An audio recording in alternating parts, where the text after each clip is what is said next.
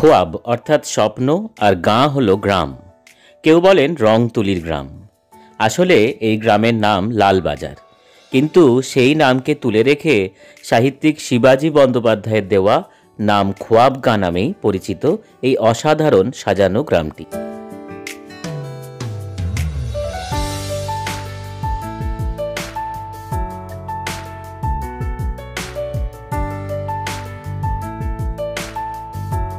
আমি অনির্বাণ চলে এসেছি আর একটা নতুন ভিডিও নিয়ে। যদিও ভিডিও দেখে ভালো লাগে, অবশ্যই লাইক, কমেন্ট, শেয়ার করবেন। আর যারা আমার চ্যানেলে নতুন, তাদের কাছে অনুরোধ চ্যানেল সাবস্ক্রাইব করার।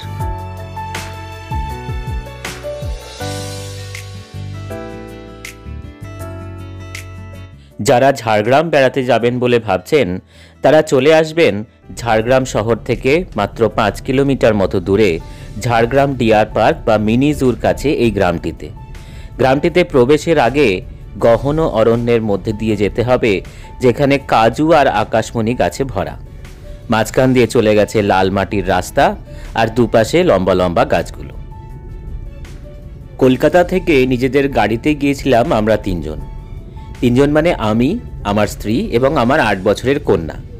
এই জঙ্গলের ভেতর দিয়ে যেতে যেতে একসময় বেশ ভয়ই লাগছিল।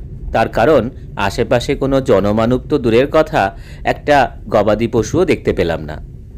যখন ফিরে আসার উপক্রম করছি, ঠিক সেই সময়ই দেবদূতের মতো হাজির হলেন একজন ভদ্রলোক, স্থানীয় ভদ্রলোক। ওনাকে জিজ্ঞেস করে জানতে পারলাম, এই জঙ্গলের শেষেই হচ্ছে আমাদের সেই বহু প্রতীক্ষিত খোয়াব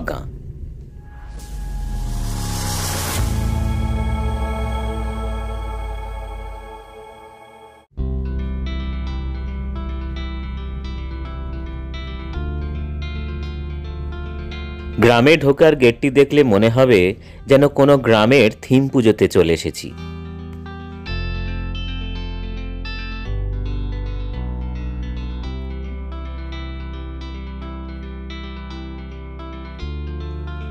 খোয়াব গাঁ।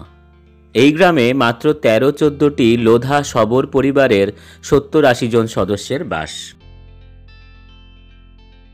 কলকাতার চিত্রশিল্পী শ্রী মৃণাল মণ্ডলের উদ্যোগেই দু হাজার আঠেরো সালে তাদের এই ছবির দুনিয়ার সাথে পরিচিতি। গড়ে উঠেছে চালচিত্র একাডেমি। এখন গ্রামের কচিকাঁচারাও এই কাজে নিপুণতা দেখাচ্ছে। খোয়াবগার দেওয়ালে কখনো উঠে এসেছে অপুদুর্গা বা ভূতের রাজা, আর কখনো বা উঠে এসেছে এই চরিত্রগুলির স্রষ্টা সত্যজিৎ রায়। কোথাও দেওয়াল সেজেছে বাদনা পরবের গল্পে বা পটের আঁকায়। বিয়ের আচার, ছোটদের হাতে আঁকা কাকতাড়ুয়া, প্রজাপতি, ফড়িং পশু পাখি ইত্যাদি নানা রঙের জীবন্ত ক্যানভাসে। কোথাও বা ব্যবহার হয়েছে শুধু ধূসর রং। আবার কোথাও লেখা রয়েছে রং বেরঙের দেওয়ালে বৈজ্ঞানিক সূত্র।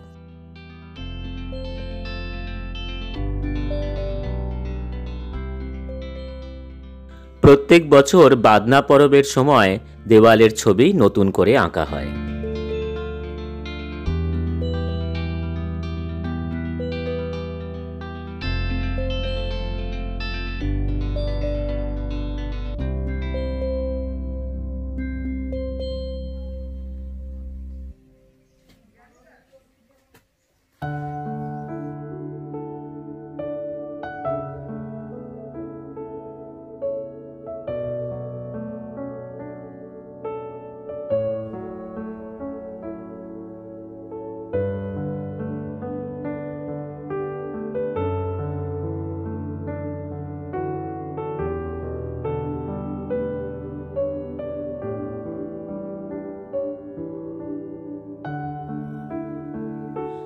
গ্রামের মাঝখানেই আছে কারুক ও শৈল্পিক দুটি কর্মশালা তৈরি হয়েছে সরকারি উদ্যোগে।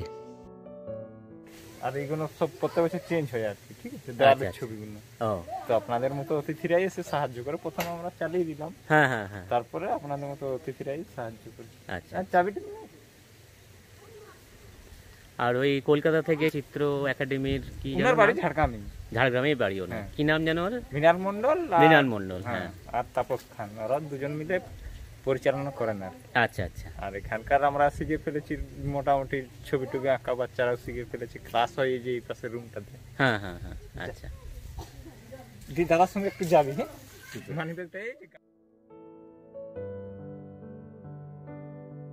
ছবি বা ভিডিও তোলার আগে অবশ্যই অনুমতি নিতে হবে। অফিস ঘরে কমিটির নির্ধারিত দুশো টাকা অর্থ সাহায্য করে তবেই অনুমতি মিলবে। এই টাকা গ্রামেরই বাচ্চাদের রং, তুলি, বইপত্র কেনার কাজে ব্যবহৃত হয়। একটা কথা হরক করে বলতে পারি, এখানে এসে নানা রঙের দেওয়াল, তুলি, রং, নানা ধরনের আঁকা নানা ধরনের হাতের কাজ দেখে আপনার মন ভালো অবশ্যই হয়ে যাবে। বিশিষ্ট চিত্রাভিনেতা এবং নাট্যাভিনেতা অনির্বাণ ভট্টাচার্যকে তো আমরা সবাই চিনি। ওনার পাড়া গড়িয়ার বোড়ালের দেওয়ালগুলোও উনি সাজিয়েছেন এই খোয়াব গা থেকে অনুপ্রেরণা নিয়ে।